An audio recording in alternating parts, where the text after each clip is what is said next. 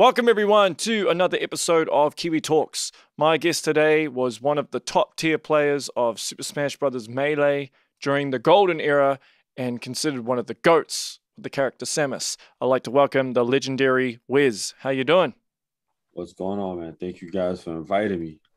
Uh, first thing I want to know is uh, how did you decide to become a Samus main, man? Was that Oh, so is it just because you're a Metroid fan, or was it just Well- wanting to give a middle finger to the haters that were saying Samus is low tier?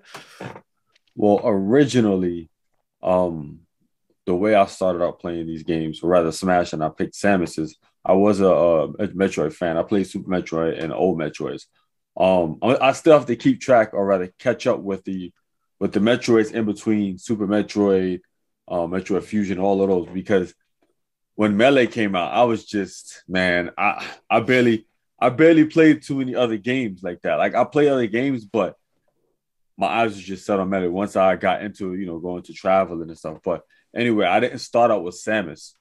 Um, I started out Smash Bros with Luigi.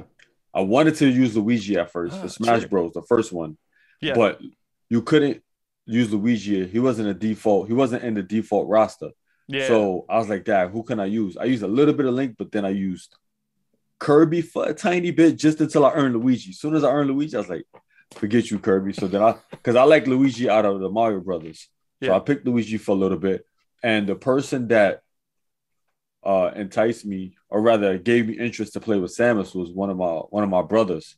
Um, he was playing with Samus and I was using Luigi. And after a while, I started like looking at Samus. It's like, although I played the games and I liked her games, I was like, hmm, Samus is she looks pretty fun. So I was like, let me try out Samus. I tried her out, and then from there I just started playing with her more and more. And then she, she became my better character than Luigi. And then I use I basically transferred my skills from Smash 64 to Melee. And then from there I was like, oh, I gotta stay with her. And I thought Right. she was just good. Everyone thought she wasn't that great, but I thought she was amazing. Yeah, and I suppose uh, things like wave dashing really helped because Samus is Oh, quite yeah. floaty, right? hmm Yeah, wave dashing helped. Uh, it helped her definitely in the beginning years of uh, melee. It set her aside from the rest, a lot of the cast. Yeah. So, uh, how did you find the play style that you ended up with? Was it a long I- time of fine tuning it, or was it just straight out the gate? Well, out the gate, I was just like that, and I'm about I'm like a creative pl- uh, player, so I'm always thinking of new things to try out and see how can I implement it.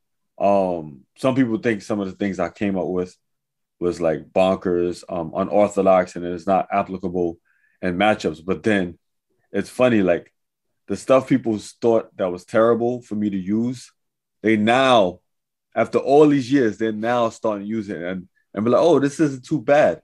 And I'm looking at them. See what I'm talking about? Like you didn't understand like hugs. I used to always tell him when we was um years ago, I guess early 2000, I guess 2005, 2006. I used to always tell hugs, you know, you got to use bombs more, implement bombs more. But he thought that it wasn't that great. So then when I retire and I wasn't around that much in the community, and rather in, regards to melee, I didn't enter tournaments, I didn't travel like hugs. Of hugs, I see like on his streams and some of his videos, and even in tournament, he starts like slowly implementing bombs. I'm like, hugs. It's been like eight years now, nine years, and now you're implementing bombs. And he's like, Wes, Wes, man, no, it, it's. I didn't want to use it and just not know how to use it. I, I didn't want to just spam it. Listen, sometimes you gotta like just put yourself out there and do you know trial and error to see when it's applicable when it's not. But a, a lot of guys just don't. They don't like. The problem is a lot of these guys they don't like to lose, so they kind of stunt their growth from not experimenting on the entirety of the character's toolkit. And that's you know that's literally how I base my skill around. Like even even though that I'm even now that I'm back in the scene, I'm still like testing things out, and my mind is a little bit different. And some in some aspects, I think I'm better now than when I was younger. The only differences between now and when I was younger is that I had more time. So the that particular style I had back in the days, I was more precise at using that style than now. Right now, it was kind of since I, you know, I have a wife, I work, Yeah. you know, I do streaming, I make content. It's tough for me to do, you know, to have as much time just dedicated to getting good at melee like I used to. So that's a big difference between, you know, me and now. I mean, now and uh then. Yeah. So how much time did you put in back in the day? How many hours per day? Man, I can't even. It was like put it this way, it's like a job. It was literally like a job. I would say at least eight hours. Eight hours least, a day. Is that straight? Would you have breaks? I mean, I'll do breaks and stuff. It all depends though. If we had sessions, forget about it. Yeah. we go to somebody's house and play, or we'll go to a tournament. It was either tournament. But the good thing, the thing about me and some of my people in Deadly Alliance, we had balance. We weren't just like, like if you looked at us back in the days, we, we did not look like gamers at all. Both some of us look like I'm not even gonna lie. Some of us look like gangsters. Some of us look like some of us look like jocks. Some of us look like I said jocks. People who just play sports. So, but the cool thing about DA is that you know we had like a balance. Like mm. we weren't only playing games. You know, we weren't only good at sports. We were able to, you know, do both and st- also still have somewhat of a social life. So, you know, uh, some some guys are still going out with girls, being able to go to the movies. Uh, unfortunately, now I I think uh, gamers, some gamers these days, they're missing that balance. That's the issue. I think some people, or rather, just in general, they're missing that balance between having a social life, spending time with their family, their girlfriend, sure. or what have you, and playing games. You know, no matter what you do in life, it's got to be some kind of balance. You know, anything you do way too much that is harmful to you. Hmm. So, did you use the psychology of people thinking that you're a gangster or like a oh. jock to to mess with them? Like, oh, because some uh, people, right? They if they're not used to being around like people from the hood, yeah. Like, if they if they're playing against you, it would mess with them mentally. I, I guess so. I mean, I didn't purposely use it, but I the thing is too, I grew up trash talking because yeah, well, that's right. Me, yeah, me and my uncles, we used to play games all the time with each other. We used to talk crap to each other all the time. So it was like I adopted that style of play when it came to games, and you know, I utilized that to not really intimidate my opponents, but just show no weakness to my opponents because even if I'm losing, I'm still talking crap to my opponents. But and they look at me like, "Yo, I'm beating you. Why you still talking crap?" I'm like, "Yo, okay, I'm just into it." Or and if I'm beating them, they get all you know sad. But honestly, my intentions when I talk trash is obviously to get under the opponent's skin, but at the same token, I want people to continue to try to get better to come at me. I want to like the endless cycle of, oh, I can't stand Wes. I want to go beat him. Yeah. And if they beat me, I'll be like, oh, I can't, I can't stand you. I'm gonna come back and beat you. But it's like at the end of the day, it's nothing personal. It's just you know all competition, and you know just for the love of the game. Yeah. That's where I. That's where I think the disconnect, especially nowadays, when it comes to trash talking. Like people, they have a misconception about trash talk now. Like they saying it's toxic. Obviously, there's a certain degree. There's a limit to trash talking. Like I tell everybody, you trash talk, but you keep it in the game. And obviously, it depends on the person. But for the most part, in my opinion, uh, this is competition. Nobody's your friend. I'm sorry. Even your boys on the battlefield, they're not your friend. Obviously, like I said, you don't take it personal. You don't put your hands on them, but you could take, you could talk a little smack here and there, just to add entertainment to yeah, it. You don't want to, you sure. don't want to play games and it's like no, some golf match, you know. So I'm like, that's why I, I look at uh, the way the drama starts people saying trash talk is uh, trash talk is toxic. I'm like, that's that's not true. That's not true at all. They think that they don't think that other sports have trash talking. No, they think that that's not the case. But the reason why they don't know that a lot of these players be talking trash to each other is because they're not mic'd up on the field, on the basketball court or the football field. Hmm. They be talking so much trash to each other. You ever you ever um YouTube or been close to like a football or basketball court, forget about it. Those guys be talking so much trash. You ever heard of uh, stories of Kobe Bryant, Michael Jordan, yeah, uh, Charles sure. Barkley, all those guys talking trash to their opponents on the court. But you know what I'm saying? It's toxic. No, it, it just fuels the fire underneath, you know, fuels the fire of people just to, you know, become better players to beat them and shut them up. You know. Yeah, but I mean, some of the Smash competitors at that time were quite fragile personalities. Oh yeah, yeah, yeah, yeah, yeah. Real introverted. You know, they had a autistic side to them, I suppose you could say. So like they're probably not used to it. But would you ever take advantage of that? I, I wouldn't take advantage of it. It's just my nature to talk trash, no matter who you are. I didn't even care. I'm telling you, if you pick it up, if you grandma, you picking up the sticks, you uh, Yo, you a girl, grandma. a kid. I'm talking trash. I'm serious. Uh, this is a story, right? Jayman. Um, Jayman is like this old school uh, melee player, right? He was Mm. young. He was younger than me at the time. He was like maybe in his maybe 12 or 13. And I was like maybe about 19, 20. I was older than him at the time. And I didn't care. As soon as he picked up those sticks, I was talking trash. It got so bad. He would he would he would say, I'm gonna get my big brother. I'm like, go ahead, get your big brother. He still ain't gonna beat me in Smash. Like, go ahead. I'm like, and then after the game, like, yo, calm down. We we in a competition. You can talk trash to me and be all good. Like he was there were times I almost bring him to tears from the trash talking. Well, it's crazy because like obviously I've seen the Smash Smash Brothers documentary, and Yeah. it, it so many personalities and so many people look sad when they lose, and I'm like, man, like, and you seem like a dude that has thick skin. Well, compared have to a lot of them, yeah, Yeah, compared to them, I have thick skin, but obviously everyone has their their weak points. Everyone has their, you know, the areas that it might get to them or not. But for the most part, in regards to the Smash Brothers community, I have thick skin. Like I don't really let much, not too much bother me. Like win or lose, it really doesn't. Um, I think I don't really get mad at people, or rather, look at people like in a negative way if I see them get real sad over the game. Like I can understand they get sad, but my whole thing is this, right? You can get sad over the game, right? Because you know you putting a lot of your time, money, effort into it, and for you to lose to whatever, I mean, it just makes you feel like, why am I doing this? You know? So I Mhm. can understand it being sad and things like that. But my thing is, once you get the, don't stay in that sad mode, that sad state. Get your behind up, start grinding, get better. That's it. Keep going. Don't ever, my thing is, don't ever, ever stay in that sad state. That's my whole motto. Like, I've been, I've been kind of disappointed at my performance. And I'd be like, you know, on my way home from a tour, I'm like, dang it, Wes, you suck, man. Dang. And I'll just be sad. You know, I'll be a little sad, but then right away I'll be like, yo, we're gonna go back. We gotta go hit the lab. We gotta do what we gotta do. Mm. Yada yada yada, you know? And that's the mindset that a, a competitor should have playing Smash Bros. or just any uh, esports game, period. yeah.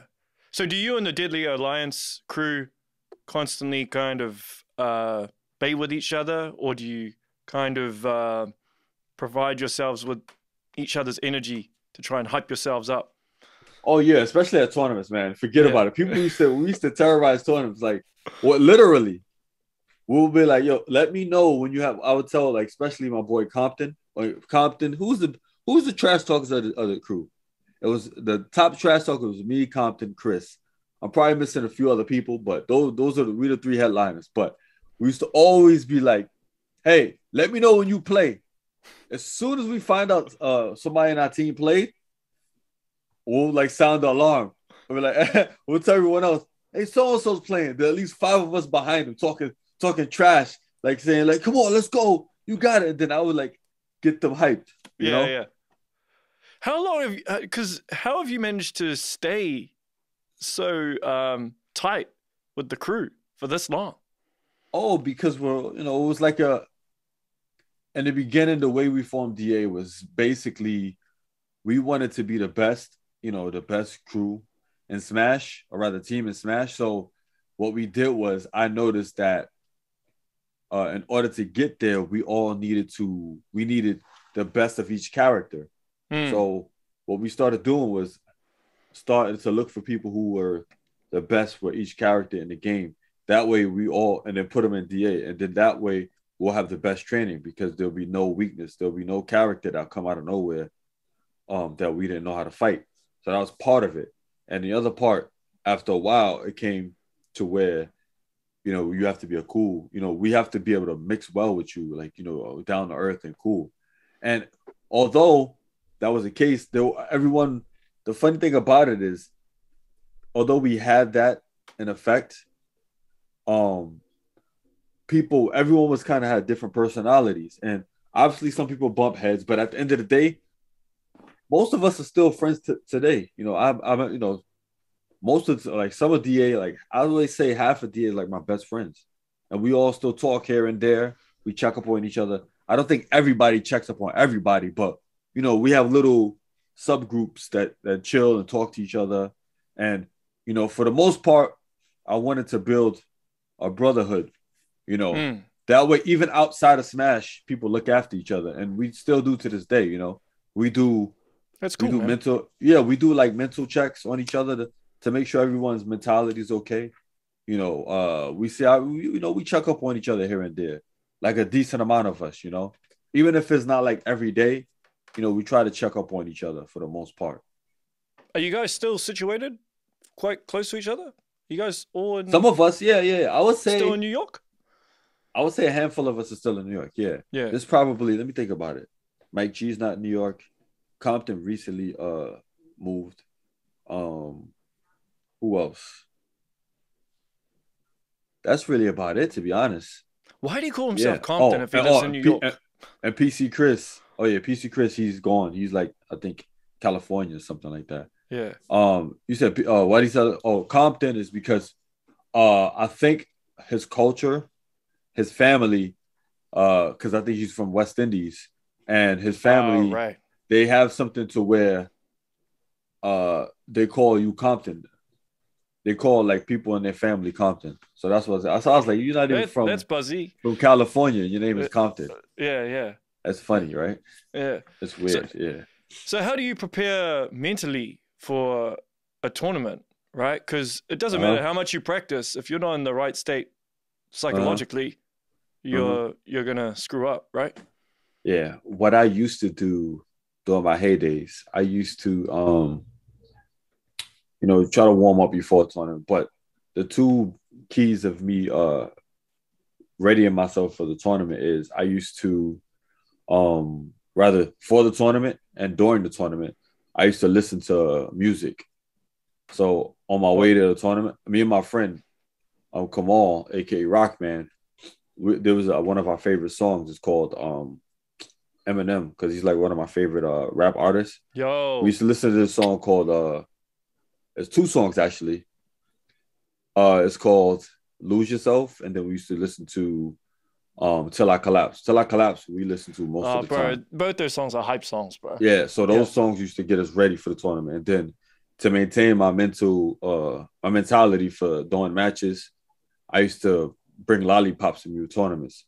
I got that from um I used to I was thinking about uh, chewing gum, but for some reason, as a young lad, I don't understand. Gum never used to just last. I used to swallow it. I don't. So I was oh, like, you know no. what? Let me stop. So let me get lollipops, and the lollipops was something to keep you keep my nerves at ease and keep me fine. You know, keep me uh, grounded. And I got I got that from Michael Jordan because I remember Michael Jordan. He used to say that um, people used to ask him, "What did you do on the court to stay focused and calm?" he used to chew um gum. It was called Big Red. He used to chew that. Mm. So I adopted that, but just used it. Uh, I just did it with lollipops. That's it for a while. Then after a while, I stopped messing with lollipops because I mean, luckily, I still got all my teeth. I don't really have cavities or nothing like that. I've been maintaining oh, cool. myself, but I was like, right, I can't do this anymore. So I just started using um, I started chewing gum, but luckily, I haven't. I didn't really um, I wasn't swallowing gum. I I, I was able to control myself to not swallow gum anymore. So I just started using gum. And then now I don't really use that stuff. I'm able to, I guess, just control myself naturally now. Yeah. But would yeah, you have to have it for the whole day leading up to the the the battle, or would you have it just before you're about to? Oh, just before my battle, I just yeah, pop, just before you know, your pop match, a lollipop in, and then you know, and that's it. And then as soon as I'm done with the lollipop, um, if I'm not playing on matches, I wouldn't mess with lollipop until I'm playing another match, and, and I'll just keep doing it that way throughout the whole day. mm. and, I, and I, I, wouldn't mess with it no more. Nice. But that's but that's how I calm myself down. And then uh, sometimes I will listen to music, depending. I'll listen to different songs and put it on repeat just to keep me, you know, going. Yeah, yeah. So was there a specific move that Samus has that maybe you were trying to perfect and it took you ages? Well, a super wave dash, that's, that's one of her hardest moves to do. And I'm yeah, still trying to, I'm still, still to yeah, this I'm day, I can't even do it. I'm still trying to master it. I, I mean, there's Samus players that are slightly better than me, but they're still not mastered. They can't do it all the time 100%. But yeah, like the, the thing about Samus, I feel that she's probably one of the most, or if not the most technical character in the game mm. because she just has so many different, so many different things going on with her. And the issue with it is that I call her the Batman of the game because she has a lot in her utility that you can use. But the thing about her is you got to know when to use it. You can't spam everything that she has. So that's that's the meta with Samus, knowing when to use what she has at the right times, as opposed to other characters like Fox and Falco. Like you could kind of use the same stuff and just rinse, wash, and repeat. And if you have a good, um, if you have good mind games, it's just good mentality as a player. You you know, you'll go far with those characters. But Samus, that's not the case. Yeah. Because how do you even test yourself against certain characters, right? Because like in tournaments, what Marth, Fox, Falco, Jigglypuff, like the typical characters. Uh-huh. Uh, and obviously, if you're playing as Samus, you'd have to yeah. accommodate uh, your style to each character that you're versing, right? Yeah. See, that's another thing about Samus. You have to. Some characters they could just almost play the same against other characters, but Samus she has to play complete completely different against everybody in the cast. Mm. Yeah, so I mean, how how do you prepare for that? You just gotta play. You gotta uh, honestly, you just gotta play different people and just get your take your lumps or receive lumps. But the thing about it, even the thing about me back in the days is that I used to always play any level of player because I always I didn't want no stone stone unturned in regards to styles and different things. Like you, you could always learn something new from any level of player, even if mm. it's somebody who doesn't even who's not as good as you. There's little things that they could do. You could pick up and say, "Oh wow, I didn't think about that," and they may not even know that they did it. They probably did it by accident. But since you're better than them, you could see what they did and be like, "Wow, Hmm. Maybe I can apply that here. It might be better to be applied here. And then that's when you add that to your game. That's what I used to do back in the days, especially against other Samus players that wasn't as good as me. I used to either watch them or play against them. And they used to do certain moves to me. I'm like, why would he do that there? And I was like, that's not a good move. But I mean, that's not a good move to do there. But I think I need to start experimenting with that move because he caught me a little bit with that. Maybe I'll be able to figure out how to use that move a lot better than him. And mm. that, I would just add that stuff into. I do that now since I'm back into the community. I mean, I'm. It's it's a humbling experience now because a lot more there's a lot of more more Samus players and a lot of them, a handful of them are, I would say are better than me, and I'm learning from them. Usually it'll be the up it'll be the other way around when I during my heydays. Like a lot of Samuses learn from me, so it's kind of like it, to me it's like a new learning experience. So that what that's what excites me about coming back into the scene. It's like a breath of fresh air, where it's like I'm not starting from the beginning, but I'm it's like I'm starting a new chapter to where now I have to upgrade my kit and learn different things, you know, and see where it takes me. This episode of Kiwi Talkz is supported by Manscaped, the leaders in male grooming, and they've just launched the Performance Package 4.0, which includes the Lawnmower 4.0, which is a great tool for trimming hairs pretty much anywhere on your body, whether it's on your back, your arms, your backside crack, below the waist, doesn't matter. Works a treat. And on top of that, you've got the Crop Reviver and the Crop Preserver, which are great hygienic tools, a spray and a cream to make your downstairs smell great. On top of that, we also have jockeys, we have a travel bag, and of course the weed whacker for getting rid of those hairs inside your ears and nostrils. This is an amazing package, and all you need to do is go to manscaped.com and use the code KiwiTalkz for 20% off plus free shipping. So did you ever do like a Mew2King and start breaking down frame by frame? Because you know how he was renowned for. I that? used to do that with my friends. Mew2King was more extensive to me, Yeah. but we used to do that with um. There was this thing called Action Replay for uh for GameCube, and what that does is it it uh it opens up the like the developer mode of certain games, especially Melee, and we were able to see the wireframes of characters. So we was able to see their hitboxes, hurt boxes, and some of the other features we didn't know what it meant because you know we're not really developers at the time. So Yeah. we would see certain things like the stages. We'll see like the uh the coding of the stages or like numbers next to the stages or like just the like the under I guess behind the scenes of how the stages look. And we didn't know what that meant. Only thing we did know was is the the hurt box and hit box of characters, and then slow down frame by frame. You know, pause the game and and basically slow it frame by frame, and we'll count frames like that.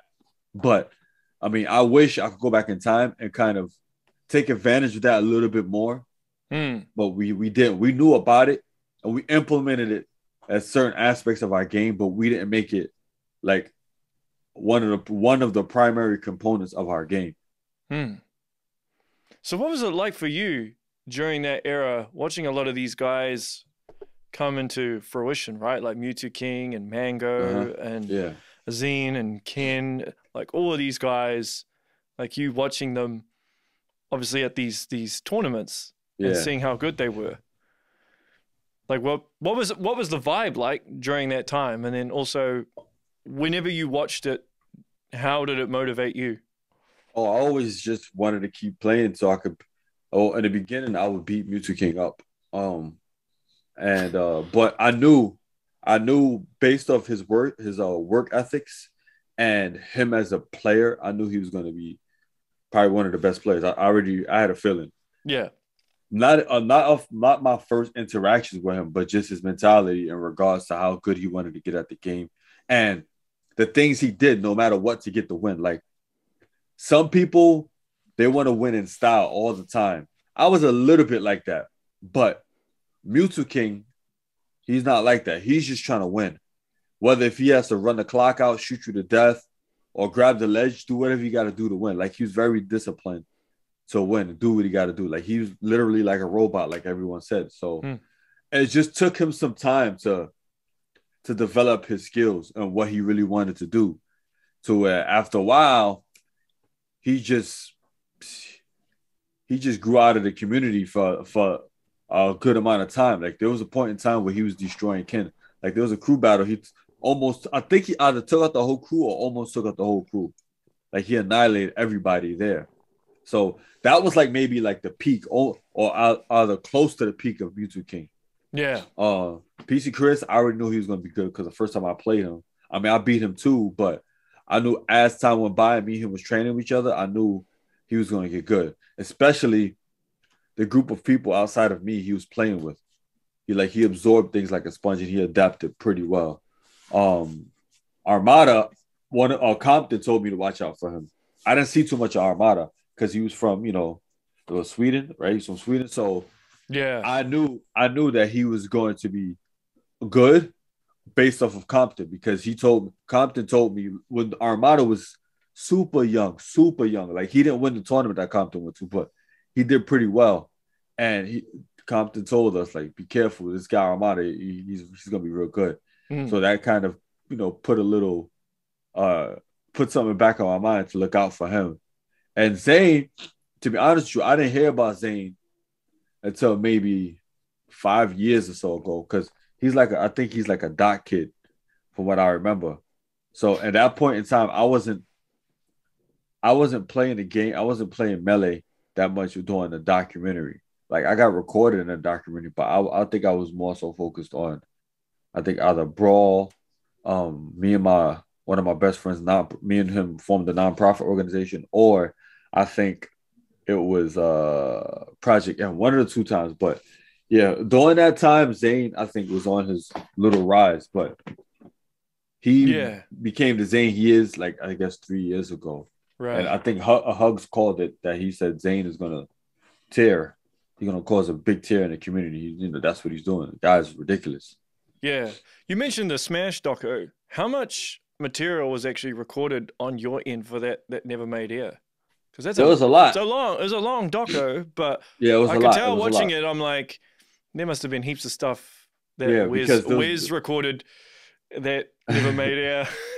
There was a lot. There was a lot because you know the documentary wasn't about me, so they can't be Yeah, yeah, for know. sure, for and sure. the fun, the funny thing about it, you know, people agreed, and uh, you know, I even said it too.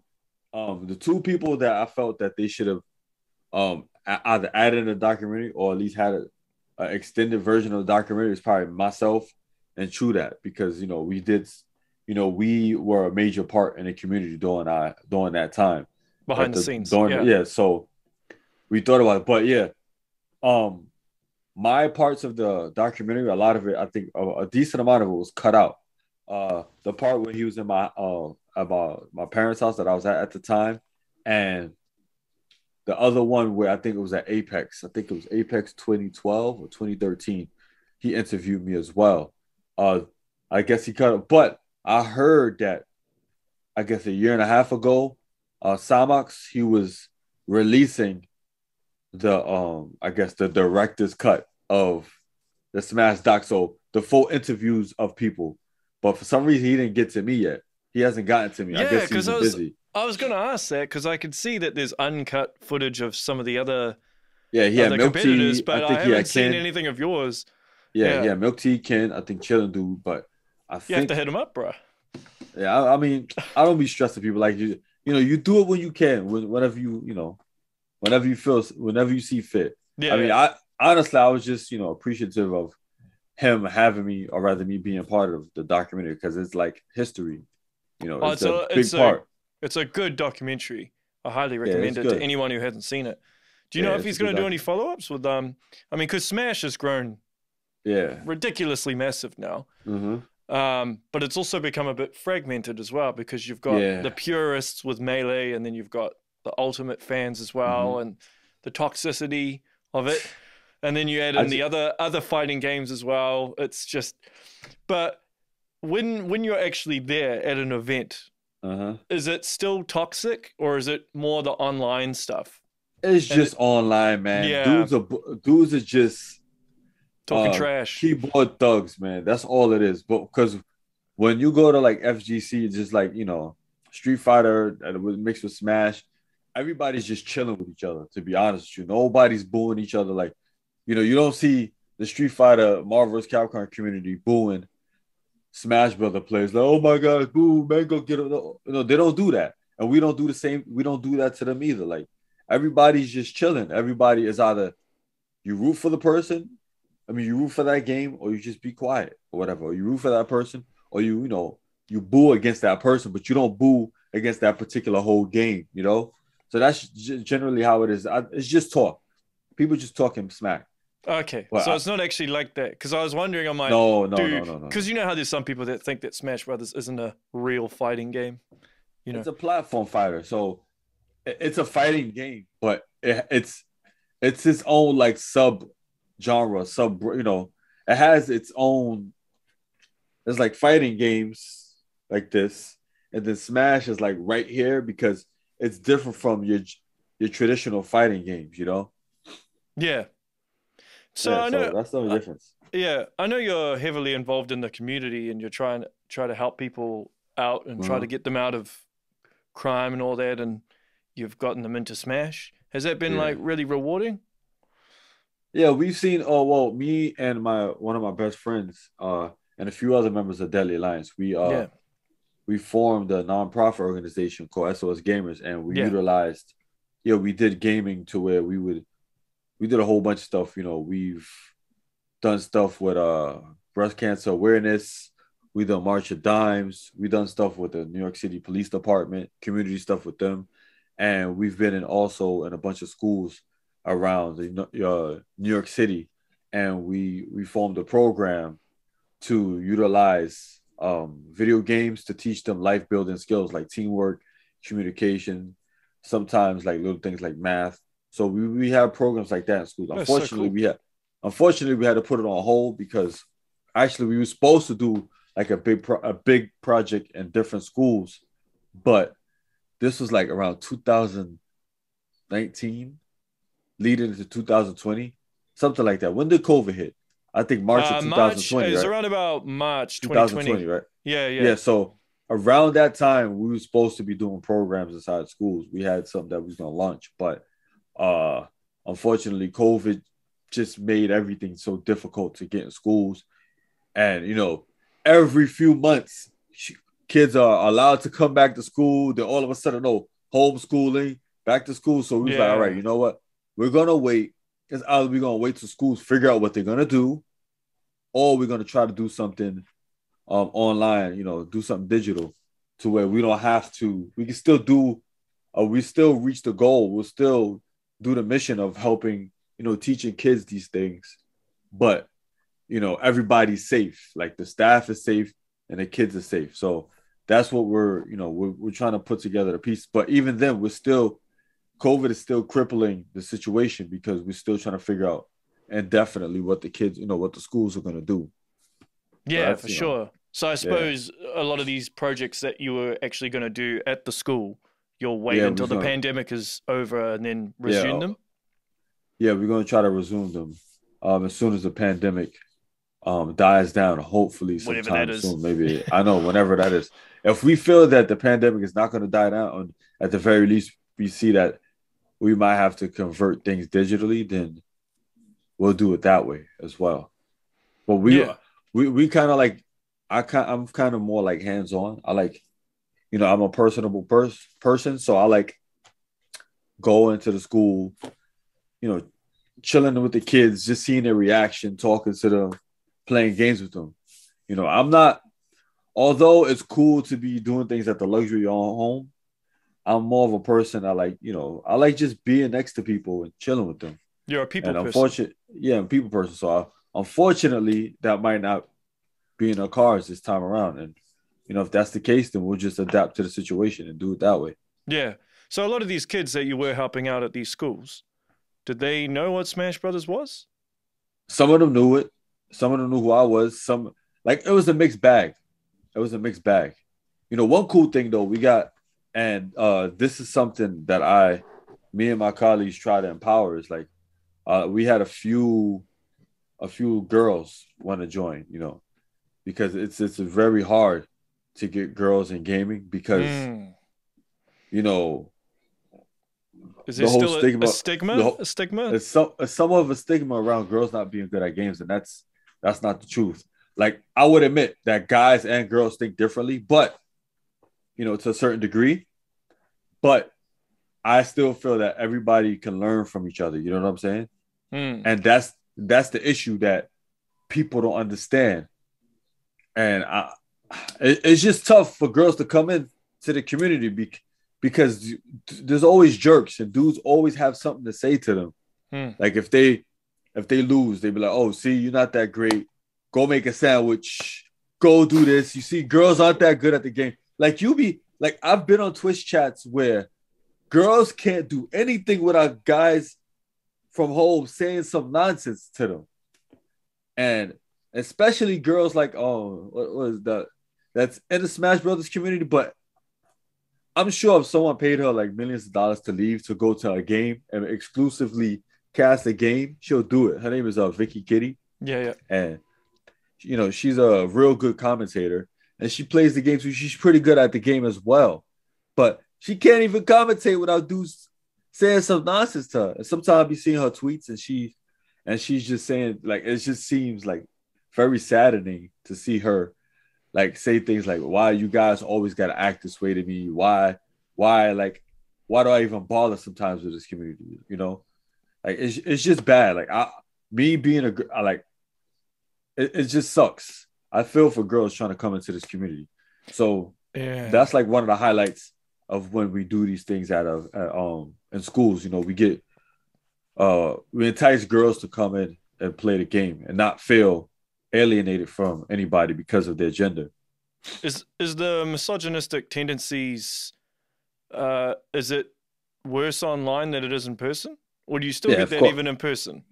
It's worse online. It's worse. It's all these things are always worse online because a lot of these guys they no just repercussions. Yeah, Yeah, no repercussions, and they just scared Yeah. because they know there's, there's a chance that somebody like me, was gonna give him a if, he- if yeah, if you hear if we literally, yeah, there's some girls I was cool in the community. I was around tournaments, and a lot of dudes knew not to mess with them because you know they had DA looking after them. So or some Sure. members in DA and just in general. So yeah, these guys they they don't be trying that all the time with girls in person because it's like they know there's a lot more at stake, you know.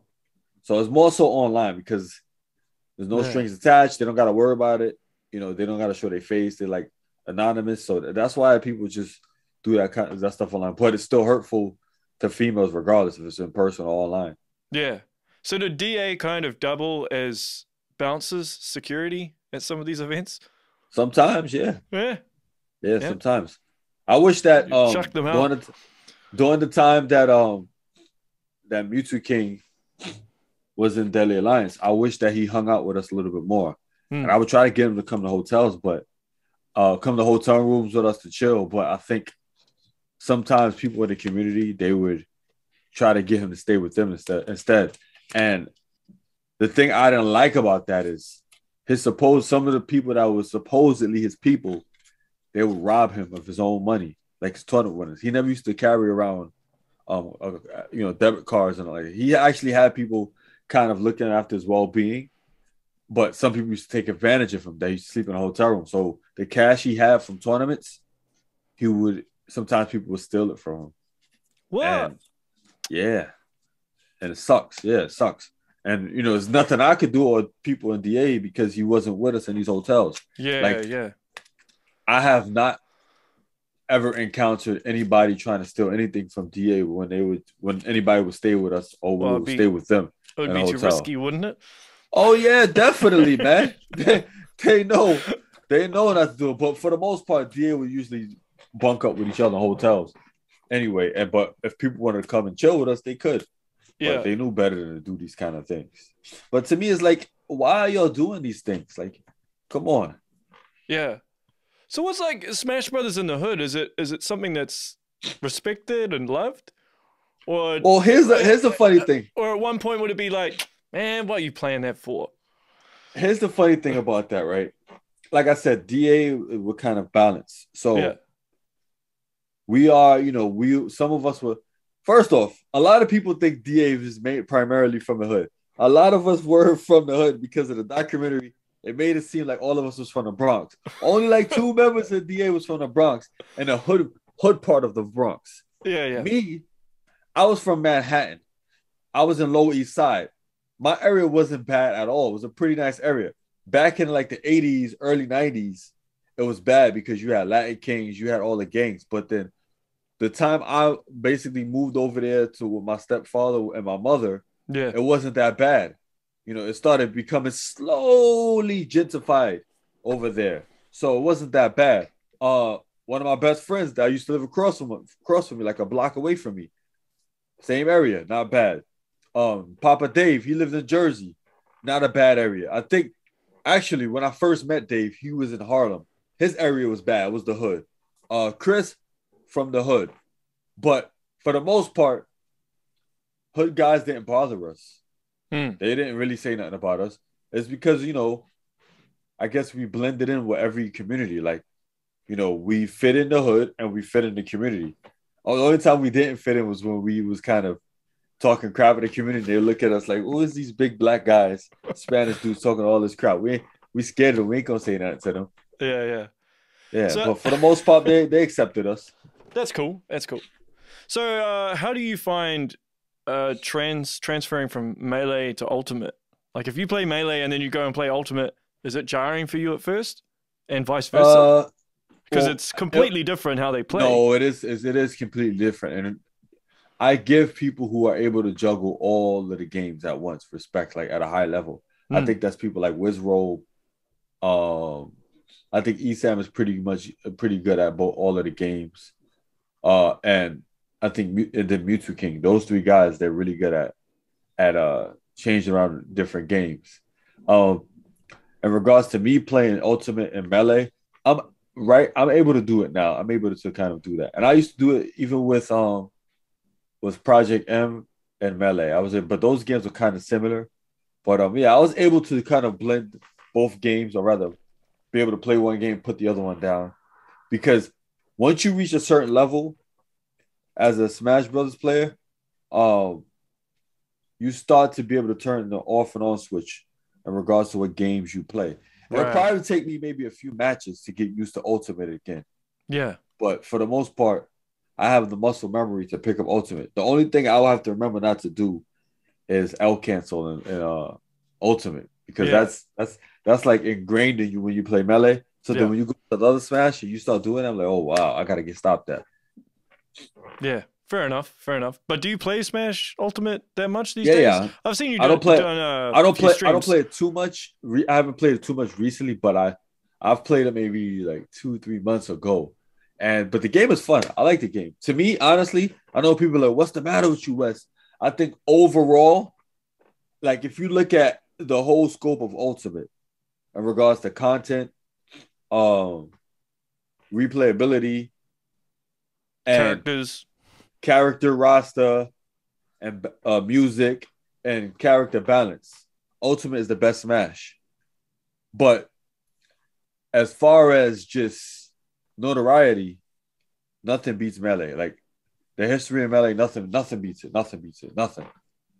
The hmm. game is the is the longest. I think Melee has the longest and the biggest like running community.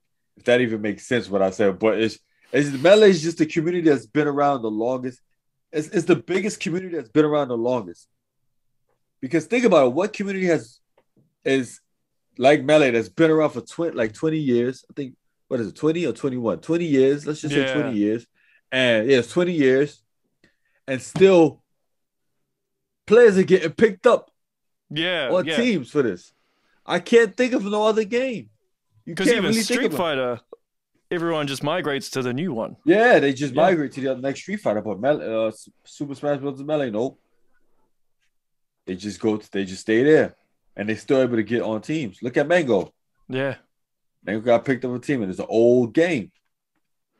That's crazy. Do you think the Smash Brothers, uh, or the Melee community specifically, will have a meltdown if Nintendo launched like an online, the GameCube online service and then release oh they'll, they'll go nuts. Oh you talking about if they because you know they, got the, they virtual, got the they got the, the Nintendo 64 thing? online yeah, yeah, yeah. on the Switch now but if they did like a GameCube one and announced it or launched it with Melee it would be so you don't need the console and the old school TVs and all that jazz. It'll it'll be a, uh it'll be silly for Nintendo not to do that. They'll make so much money. But here's where here's the here's the deciding factor for that. It, it's only going to work out if they're going to sell. They're still going to sell because they're going to get those casual people, right? Yeah, yeah, for sure. But the diehard Slippi guys, they're not going to convert unless they have rollback. If they don't got rollback, nobody from the Slippi era is going to play it. Ah, because you need, yeah, you need you need rollback. You need rollback for a game like Melee. You can't just toss Melee on the Switch, and then think everybody in your mom is going to do it. But it's probably still going to sell. So yeah. it would be stupid for Nintendo not to do it, regardless if they got rollback or not. You know? Yeah. I think it'll be smart for them to hire slip, uh, hire Fizzi, hire Fizzi. That was one of my theories in one of my videos that when Nintendo was teamed up with Panda Global Gaming, that uh, because they said that they was gonna do Smash Ultimate and Melee. I think Melee online, I think, or something to that uh, degree. Yeah. So I'm thinking that their best bet is to just hire Fizzi and his team to to handle Melee, just in general, and just throw it online and see what mm. happens from there. Or just Nintendo stop being cheap and just and just do rollback. they got hand over fist money. Come on, man. They do, but they can't even get their Nintendo 64 online stuff right. So I'm not holding my breath. Know. Yeah, I know. It doesn't make any sense to me. I yeah. just can't put my head around it. Like one of the biggest companies, gaming companies in the world, if not the biggest company, I know it's one of the longest or uh, longest running companies in regards to gaming, and they still can't get this right. Yeah. It's crazy. Yeah, it is crazy. So, do you actually get any time these days to play not only Smash but video games at all, or are you just Yeah. too Well, busy? part of part of my content on on YouTube or just Twitch, I just look for different games to play. how- I like beat how- 'em up. but how often would that be during a during a week? Oh, that well, right now it's tough. My schedule's been everywhere. Yeah, yeah. I'm trying to I'm trying to balance out a, a really good schedule to where I could do all of that because part of my my content creation journey, um, I'm more of a, a variety content creator. So I like to dab in everything. Like not only I do you know melee content or just smash content, I like just uh doing things for mobile games. I'm very heavily into indie developers because those guys need as much help as they can get to get their games out. And I like, and eventually, maybe in the future, I could develop my own game. Um, I'm into you know health, fitness, and just into the little things that go on in the world, like the silly stuff that goes on in the world. So it's a Mm. bunch of stuff that I like to do and talk about. But uh, and I do work on little projects for indie developers. Like I help beta test some of their games to help them oh, cool. figure out what's the best course of action for their games. Yeah, Yeah. Random question before uh, I, I wrap up, but um, yeah. are you ever wearing sunglasses and walking down the street and people mistake you for Royster Five Nine? Royster five, no. No. They they've they've mistaken me for my little sister, or rather, no, my little sister and other co-workers of mine. They mistake me for like little Romeo. They mistake me for for Dame from um what is this team? I think it's Portland. Yeah. Him. Uh random random stuff. They they yeah. I've heard I think one person say Royce da 5'9". Yeah. If you're wearing the shades, I think you would. Like if you wore the sunglasses like he does. Uh-huh. Yeah. Yeah. Some people I think uh, you and another person said that. Yeah. somebody when I had my long hair, people called me Andre 3000. It was funny, man. Yeah, I get mistaken for a whole bunch of different celebrities. It's funny. Do you roll with it? You're like, yeah, yeah, Some- yeah, that's me. Yeah, I'm One person, I, one person I did it, but everyone else it didn't work. You know, Yeah, it's yeah. just say I look like them. You know, Yeah, yeah. Well, hey, uh, Wes, it's been a pleasure. Thanks, thanks so much for taking time out. Uh, if people want to it. follow you and all your streaming and your YouTube channel, what's the best place or best way for them to do that? oh yeah, my YouTube channel is called The Legendary Wes. Yep. Um, they want to follow me on Twitter. It's Legendary Wes Seven, and if they want to follow me on Twitch, where I go live, play different games, train in melee, make these Slippi kids cry, rage quit. um, you can follow me on Twitter at I'm sorry, Twitch, uh, the Legendary Wes as well. cool, man. Mm-hmm. Well, hey, I appreciate you taking the time out. I know I, appreciate you, a- having me. you got a crazy schedule, man. So Yeah. I, I very much appreciate you doing this. So Uh huh. Yeah, Thanks and, Um, and continue to grind, man. yeah, man, for sure, for sure. Once I uh, get my TV, because I'm I don't have a TV at the moment, but I'll be keen to jam you at Smash. No problem, man. Yeah, I'm, one on I'm. I want to see how I stack up against the the, the goat because I actually use Samus as well. So Oh, you do? yeah, oh, yeah. nice. But I haven't I haven't played in ages, so I'll be a bit rusty. But yeah, I hope you. I hope you de-rust, man. yeah, I might I might play a few games, Uh-huh. get my cred up first, and then and then we can and then we'll make it happen. yeah. Cool, bro. All right. Uh, well, that's the show, everyone. Make sure you share, like, and subscribe. And until next time, stay safe. Take care, everyone. Peace.